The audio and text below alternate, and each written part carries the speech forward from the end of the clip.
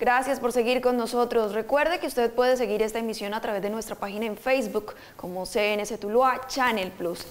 Continuamos con información, pues frente a las inquietudes de la comunidad de los barrios La Paz y El Paraíso, CNC Noticias consultó al director de planeación sobre el tema de la estratificación.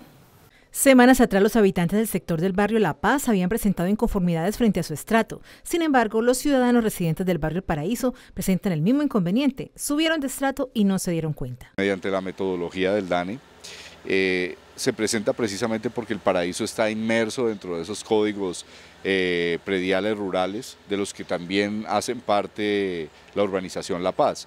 Entonces se presentó el mismo fenómeno. ¿Qué le estamos diciendo nosotros a la gente del paraíso? Y es que Vamos a hacer la reclamación ante el DANE, es el mismo ofrecimiento que le hicimos a la comunidad de La Paz.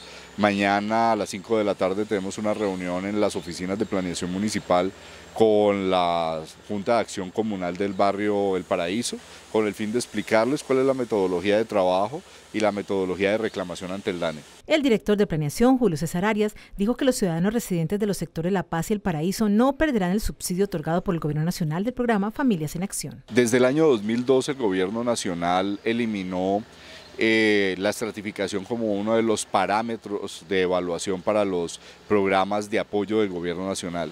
Ni se pierden los subsidios de vivienda, ni se pierden los subsidios de familias en acción, ni de familias, ni, de jóvenes en acción, eh, no tiene nada que ver con el puntaje del CISBEN, es decir, la estratificación en este momento del país solo sirve para localizar cuáles son los estratos que tienen beneficios en el subsidio de servicios públicos o quienes tienen contribución a los mismos subsidios de servicios públicos. Desde Planeación Municipal se busca convencer al DANE que los sectores que presentan este fenómeno siguen siendo estrato 2 y que el alza en estratificación 3 no se justifica técnicamente.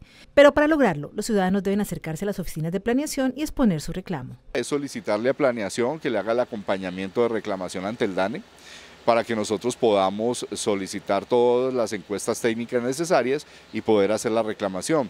Eh, vuelvo y ofrezco, o sea, Planeación está dispuesta a hacer todas y cada una de las reclamaciones necesarias para que el DANE eh, conceda eh, la verificación de la estratificación y nos permita poder solucionarle a la gente este impasse.